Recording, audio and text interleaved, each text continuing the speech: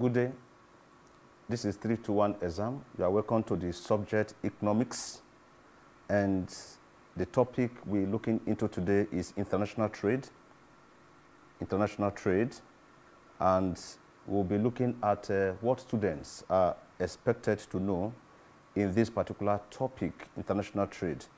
At the end of this topic, candidates should be able to know the following outlines. Number one, candidates should be able to know the main and basis of international trade. Number two, candidates should be able to differentiate between absolute and comparative advantages.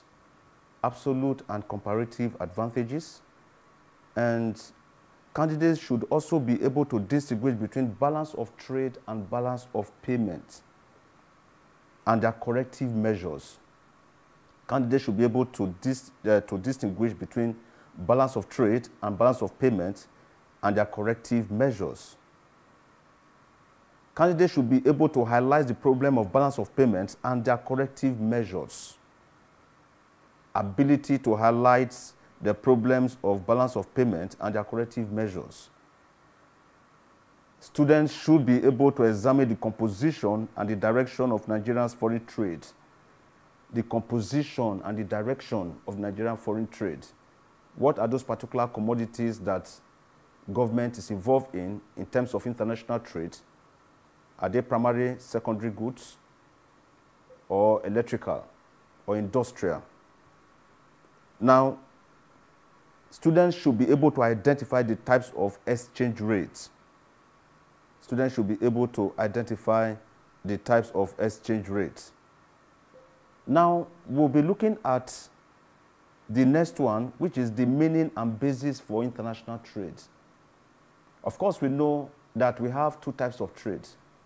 The very first one is the domestic trade, and the second one is the international trade. But our concentration and our lecture for today is international trade. Types of trade, we have the domestic,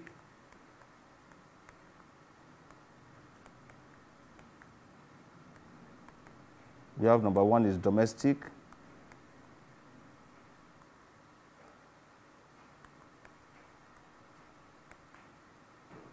Domestic trade. And number two, international trade.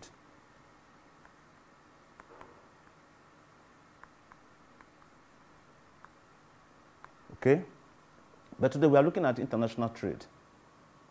What is international trade? From the definition, it is the exchange of goods and services between two or more countries. It is the exchange of goods and services between two or more countries. Where there is, in monetarily, you know, when there's a monetary value that is backing it up, it is an international trade. International trade is defined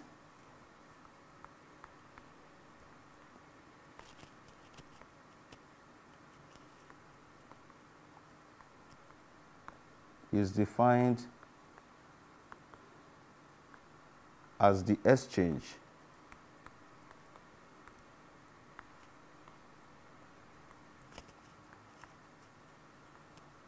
of goods and services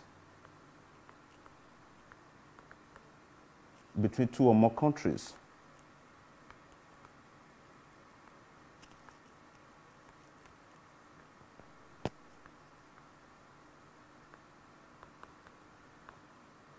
That is international trade, or a trade between one particular country or the other across the international borders. A trade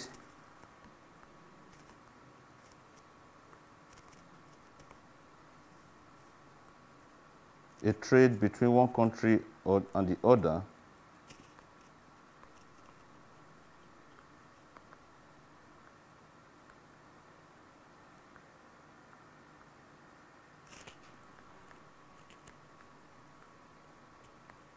across international border.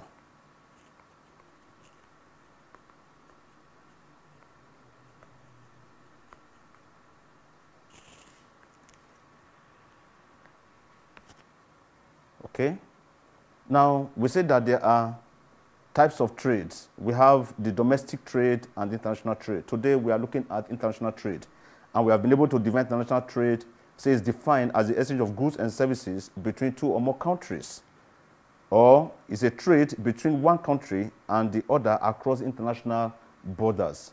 Now, we're going to be looking at the theory of international trade.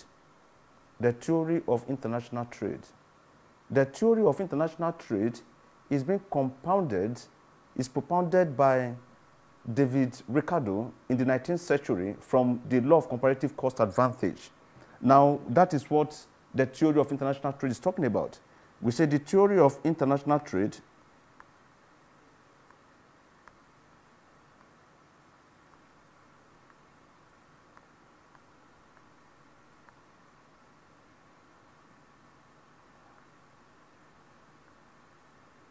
the theory of international trade is propounded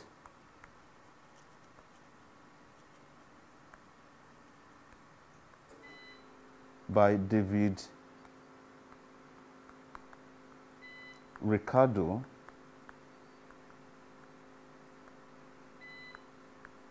in the 19th century.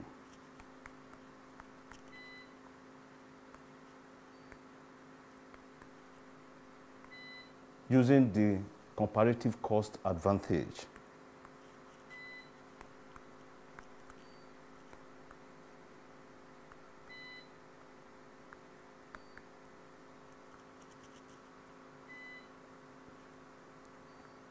Comparative cost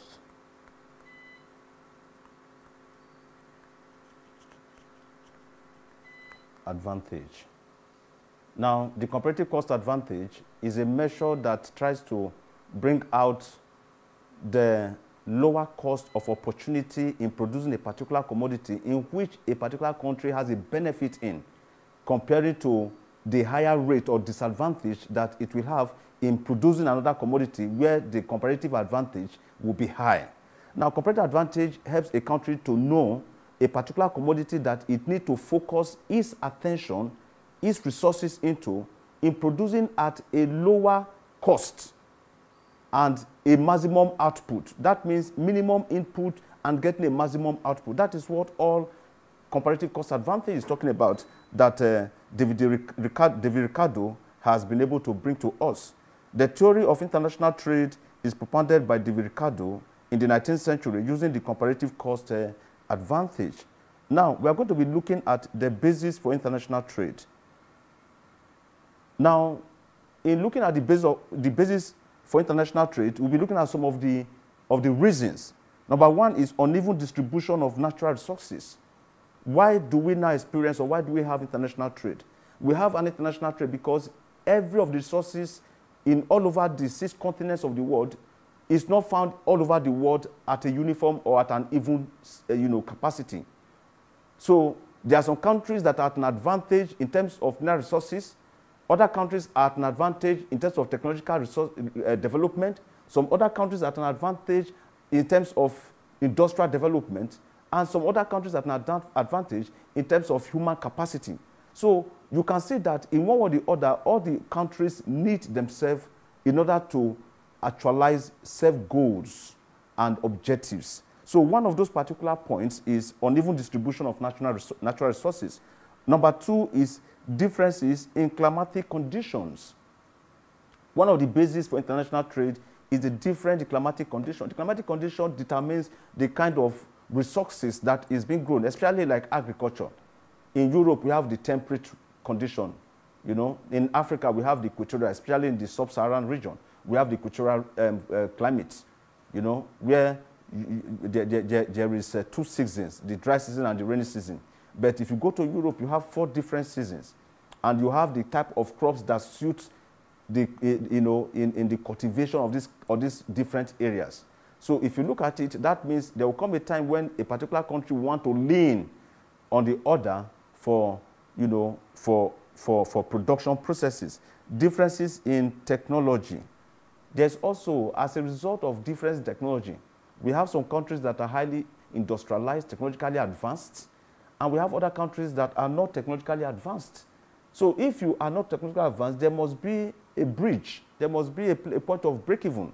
And what is the particular point of break-even? Where you will now need the services of those particular country that has advanced technologically to make you to also follow suit. Now, that is one of the areas where you will need international trade. Then differences in skill acquisition. There are some countries that are, that are skillfully, uh, you know, uh, uh, gifted. Skillfully, they are very skillful in terms of production, technologically, industrially, especially if you go to countries like Japan, uh, China, you know, America. All these are countries that are industrially and technologically advanced. So you can definitely agree with me that such acquisition of skills in this particular country, you will need to have their own import into your own country so as to teach you those particular things they've learned in order to advance in your own technological uh, you know, um, development. Now, the next one is expansion for the efficient use of natural resources. Expansion for the efficient use of natural resources. International trade also helps in the efficient use of natural resources and being expanded. Its expansion. It has to be expanded, and in this doing, you need the services of other countries to pivot you to get to that particular level. We have differences in the efficient use to natural resources. There are differences in the efficient use to natural resources, differences.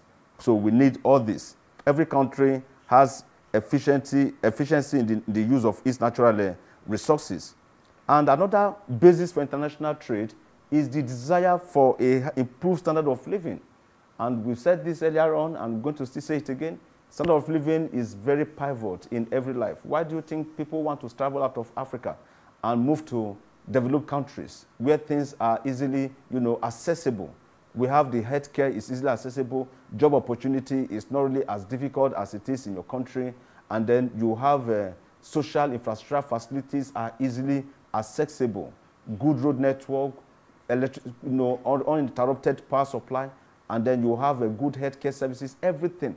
When you have this, definitely those are the HDIs, Human Development Index, that always improve on your standard of living. So the desire to improve in standard of living is one of the pivot points or reasons why we have uh, international trade. Different in taste and fashion. They say varieties, they say the spice of life. So you will definitely, if you operate on a minute system of economical develop, economic development, obviously you will not be able to get everything that you want.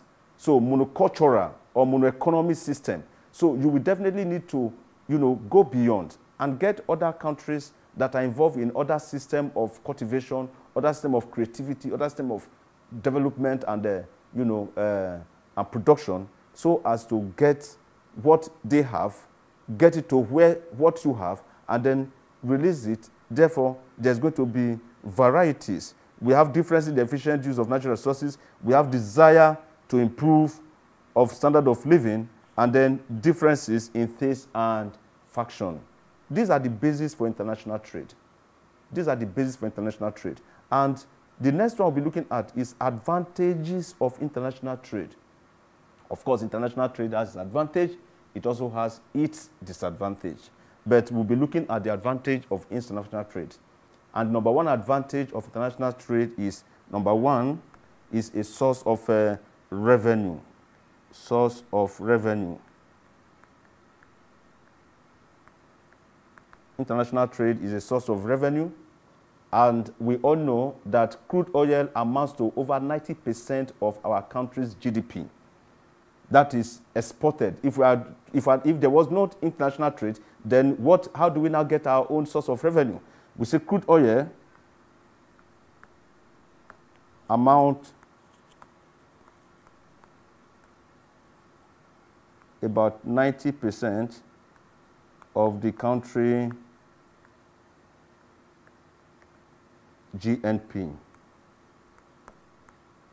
So that is of the country's GNP.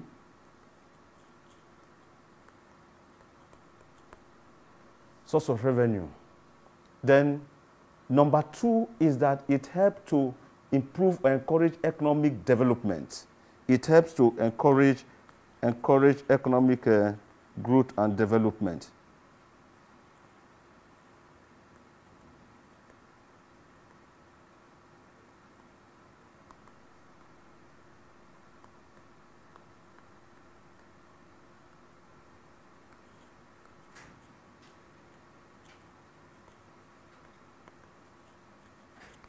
Number three,